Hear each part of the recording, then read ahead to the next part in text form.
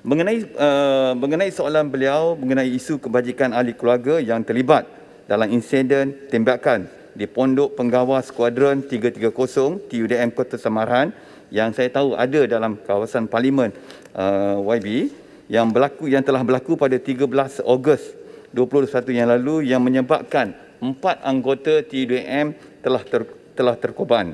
Untuk maklumat yang berhormat, insiden tembakan yang disebutkan tadi masih dalam siasatan polis diraja Malaysia bagi mengenal pasti sekiranya wujud elemen jenayah dan mengesahkan punca sebenar insiden.